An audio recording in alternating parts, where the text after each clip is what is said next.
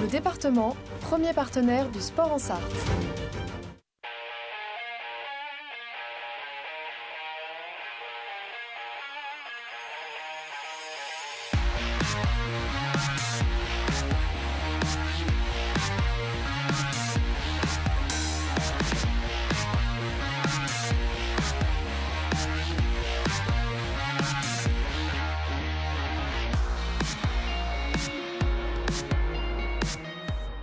Bonsoir à toutes et à tous, bienvenue dans 72 Sports sur LMTV Sarthe, une heure avec vous pour euh, évoquer toute l'actualité sportive locale. Regardez le programme, aujourd'hui donc au sommaire de 72 Sports, on sera dans un instant avec Nordine Harik, le maire adjoint délégué au sport à la ville euh, du Mans. Ah, il répondra à toutes nos questions. Le reste de l'actualité, on parlera de basket avec euh, le MSB qui faisait son premier match de championnat de la saison. On parlera également de football avec euh, Le Mans FC. Euh, le deuxième match du championnat également pour les féminines. On parlera de course à pied du côté de l'Assus, de handball, vous l'avez vu, de moto en troisième partie d'émission avec Damien Saulnier, le team manager du Yoshimura, certes Motul. On aura un titre de champion du monde à fêter, puis en quatrième et dernière partie d'émission, place au camion Place aux 24 heures camions qui auront lieu ce week-end. On sera avec l'organisateur de cet événement. Mais tout de suite, l'information à la une.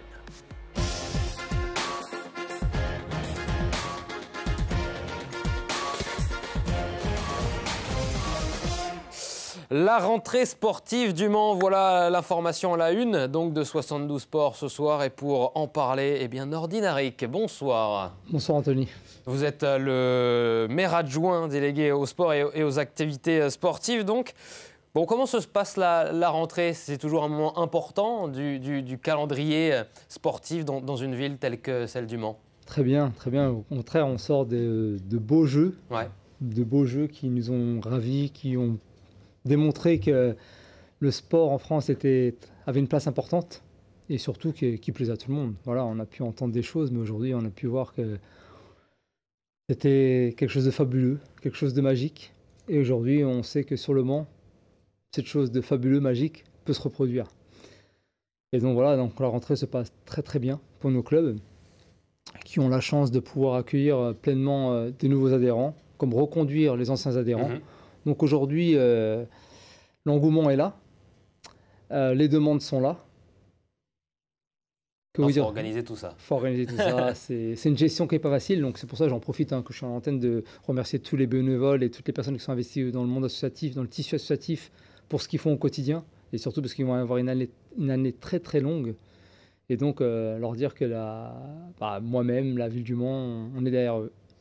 La semaine dernière, le maire du Mans, justement Stéphane Le Foll, était en, visite au, Sablon dans le gymnase Pierre Rousière, gymnase rénové hein, il, y a, deux ans. D'autres gymnases d'ailleurs sont en train d'être euh, rénovés. Hein. Le Mans fait un travail pour essayer de, rénover toutes ces euh, grandes infrastructures sportives. Exactement, c'était une volonté politique du début de mandat de se dire que voilà, il fallait absolument euh, non seulement rénover, reconstruire et surtout lancer une maintenance préventive qui avait été un petit peu, je ne vais pas dire oublié, parce qu'il y avait d'autres priorités, mais voilà.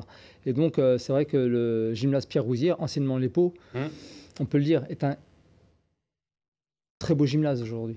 Très beau gymnase avec, euh, qui est inspirant, qui est inspirant justement pour les deux futurs gymnases qui vont être euh, rénovés à partir de janvier 2025, qui sont alors le gymnase Alain Fournier, et euh, le gymnase. Toujours au Sablon. Exactement. Et le gymnase euh, Florence Artaud, anciennement La Madeleine. Qui sont deux gymnases qui, vont être, euh, bah, qui dès la fin décembre, début janvier en rénovation. Quand je dis rénovation, c'est vraiment total, global. Mm. Donc voilà, je ne parle même pas de rénovation au final. C'est vraiment une sorte de destruction, reconstruction, mm. voilà, mais c'est vraiment quelque chose qui va, qui va donner. Et surtout, ce qui m'intéresse, c'est il y a une, réelle concertation qui a été faite avec les usagers. Et donc, on va vraiment partir sur un projet commun. Euh, Stéphane Le Foll, hein, le maire du Mans, qui en a profité dans, cette sortie d'ailleurs pour euh, dire à, nos confrères du, du, Maine Libre qu'au vu de la demande, il fallait construire un, grand gymnase supplémentaire. Euh, le maire parle de la demande des, clubs hein, pour faire face aux, nombreuses demandes de créneaux des clubs. Euh, comment ça se passe? Est-ce qu'on peut aujourd'hui avoir ce, nouveau gymnase supplémentaire? Bien entendu. Donc c'est une, une, étude qu'on a pu effectuer depuis 4 ans en gros, de, voir justement, on se base sur les rentrées, sur l'année sportive, pour connaître un peu les, demandes. Et c'est vrai qu'au niveau de la collectivité, on a une forte demande de créneaux, hmm. que ce soit pour des salles spécialisées ou les plateaux sportifs. Et donc, selon les, chiffres qu'on a pu obtenir, on s'est aperçu qu'il nous manquait à peu près un, voire deux gymnases hmm. pour pouvoir accueillir toutes les demandes. Sachant que voilà, aujourd'hui, il fallait aussi manager aussi les équipes pour qu'on puisse optimiser aussi ces gymnases qui sont quand même assez conséquents sur la ville. Et de cette étude, on s'est dit, bon, faut-il construire un nouveau gymnase? Faut-il construire le gymnase de demain? C'est la grande question qu'on s'est posée.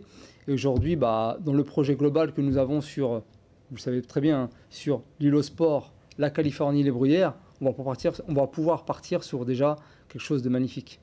C'est-à-dire un, gymnase, même plus qu'un gymnase, une, une grande salle. Je sais que c'est un de vos euh, souhaits de, début de mandat, notamment d'avoir une, une sorte de salle intermédiaire entre euh, Antares, qui peut accueillir euh, plus de, de 6000 spectateurs, et les, gymnases qui peuvent accueillir aller jusqu'à 500 spectateurs, je crois. exactement, exactement.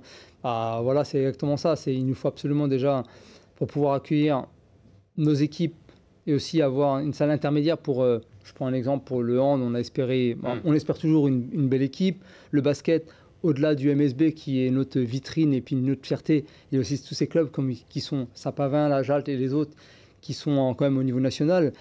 Et donc, on sait très bien que plus on va vers le haut niveau, plus on attire du monde. Et mm. puis on attire, on attire aussi des partenaires. Et donc, euh, il faut absolument une salle digne de ce nom, digne du Mans, digne de cette 17e ville de France qui, euh, qui mérite d'avoir une salle gérée par sa, municipalité et surtout qui puisse euh, acquérir toutes les disciplines. Aujourd'hui, on le voit bien sur le Mans. Il y a une multitude, de disciplines. Il n'y a pas que du foot, du basket ou du badminton ou quoi que ce soit. Il y a une multitude de disciplines spécifiques aussi qu'on doit pouvoir euh, accueillir dans nos, sur nos équipements. Et donc je pense que ce gymnase de demain pourra aussi bien accueillir des sports co comme des sports individuels et comme des sports émergents. Et c'est en, bonne voie donc ce, projet de, salle intermédiaire euh, qui pourrait voir le, jour au Mans? Oui, bah, je, je, je l'affirme avec euh, le sourire et j'affirme les dires de, de, Monsieur le maire. oui, oui, c'est en très très bonne voie. Justement, il y a une étude qui a été lancée et euh, je ne peux pas trop en dire aujourd'hui parce que ça, on est vraiment en phase d'étude, mais c'est vraiment lancé avec cette réflexion.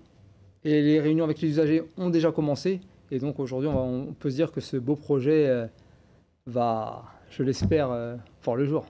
Un autre projet dont beaucoup espèrent voir que, ce projet voit le jour, notamment les, athlètes d'athlétisme, les, les, coureurs à pied, euh, c'est euh, la fameuse salle euh, d'une piste d'athlétisme couverte, donc, qui devait voir le jour prochainement, notamment du côté de l'université. Où en est-on sur ce dossier-là? Bah, C'est un projet qui est piloté par Le Mans Métropole. Et pareil, c'est en bonne voie, très très bonne voie, parce que même c'est en phase avancée avec, je ne peux pas trop dévoiler tous les, le projet dans sa globalité, mais aussi, il y aura bien une salle couverte d'athlétisme avec quelques salles annexes. Hmm. Voilà. Donc et ce sera bien basé à l'université.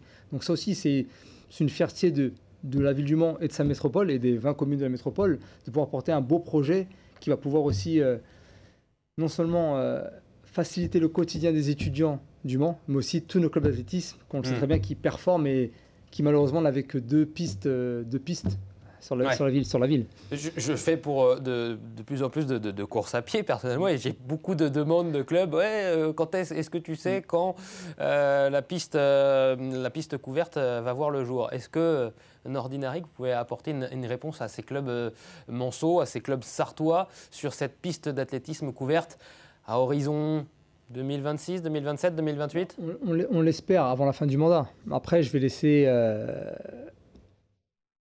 les personnes concernées hmm. annoncer, les, annoncer la, date. Donc, M. Euh, Monsieur Edon pour la métropole. On posera la question, on essaiera d'inviter Monsieur Edon donc avec, avec Le Mans Métropole.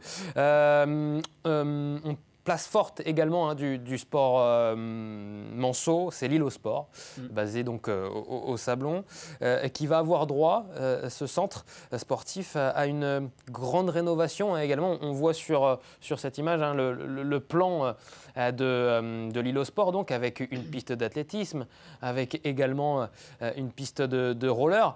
Et par exemple, prenons la, piste de roller sur la droite à, l'entrée, là. Elle a été laissée un petit peu à, l'abandon. Et, qu'est-ce qu'on va en faire de cette, de cette piste de roller Est-ce que vous savez?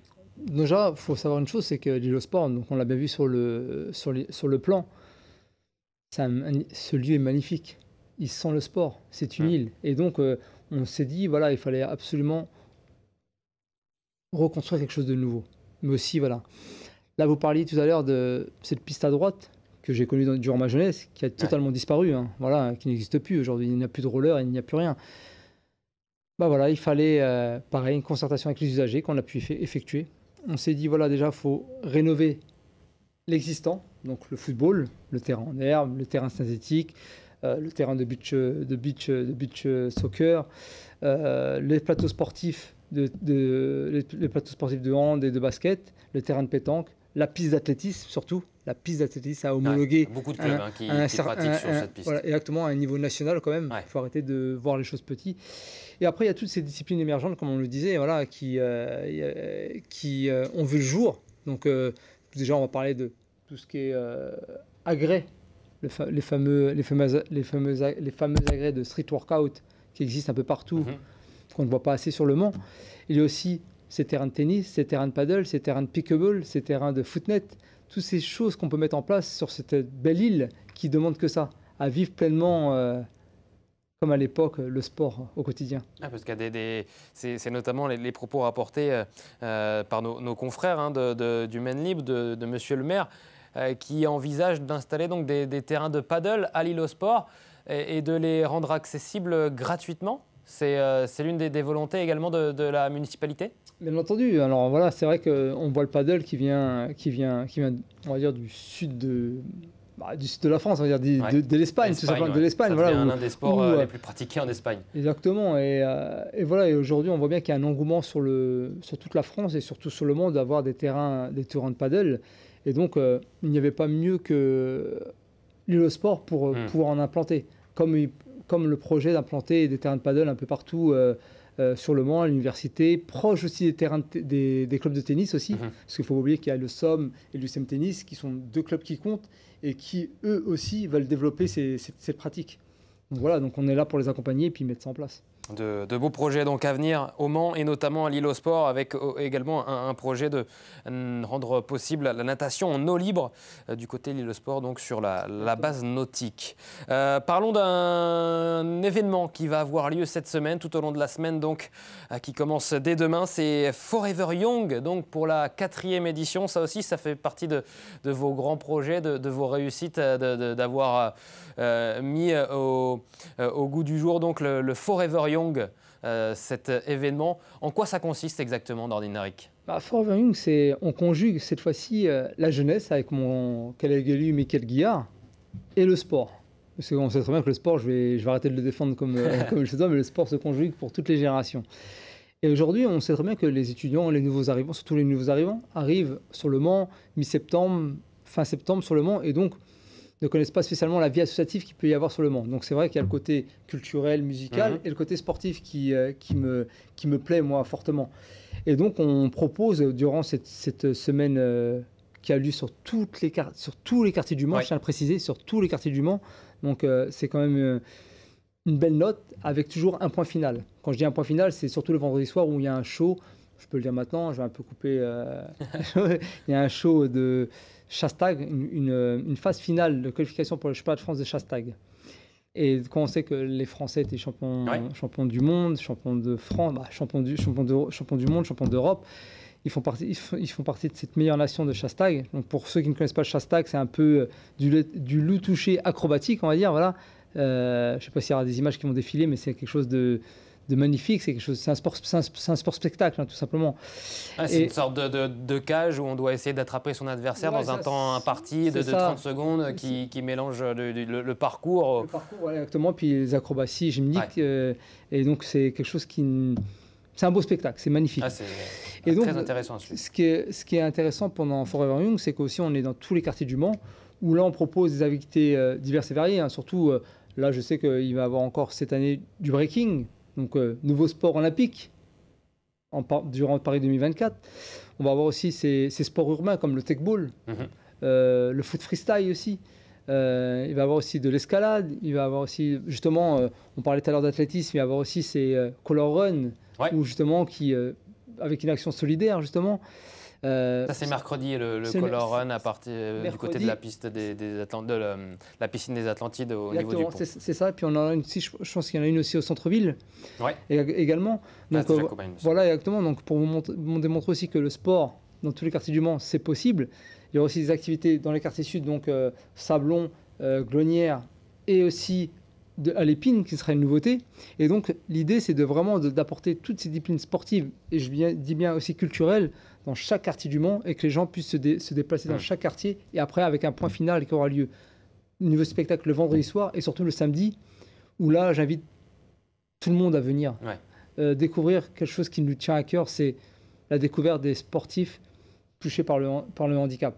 Donc il y aura la fédération de handisport et de sport adapté qui seront là pour nous faire des démonstrations, initiation par exemple au, au Basket handi-basket. fauteuil, ouais. Voilà, c'est six foot aussi qu'on a Ouais. bien vu avec euh, la France qui est la venue France ch- championne champion- olympique. championne olympique, euh, et d'autres sports individuels qui sont représentés par nos associations sportives. Et euh, le clou final aussi, quelque chose qui est très important pour moi. Tout à l'heure, je le disais en début de, en début de- d'émission, que je remerciais euh, toutes les personnes euh, qui s'investissent au quotidien pour les associations sportives de la ville du Mans, et même la ville du Mans, c'est qu'il y aura, qui sont la plupart du temps des bénévoles, Hmm. et donc, on a voulu aussi euh, monter, euh, apporter un clin d'œil à ces, à ces personnes qui s'investissent au quotidien, parce que sans elles, le sport, il n'y a pas de sport sur la ville du Mans. Sans les bénévoles, il n'y a, pas de- il n'y a pas de sport. Ouais. Il n'y a pas de sportif, il n'y a pas de champion. Donc, ça- on a voulu monter, mon- avoir un moment fort avec eux et les récompenser. Parce que pour eux, je le dis toujours avec le sourire, et puis euh, tu vois, j'ai un petit sourire, mais c'est un sourire sincère. C'est que, voilà, c'est des souvenirs aussi. Moi, j'ai- Mm. je suis issu du, bah, du tissu associatif euh, Manceau. J'ai grandi au Mans, j'ai grandi avec des éducateurs qui ont été là bienveillants envers ma personne. C'est pour ça qu'aujourd'hui, j'ai pu m'affirmer dans certains sports, pas que la boxe, comme on pourrait Mm. le penser. Et aujourd'hui, bah voilà, je suis maire adjoint. Grâce à quoi? Grâce au sport. Et grâce à ces bénévoles qui m'ont apporté, partagé des connaissances.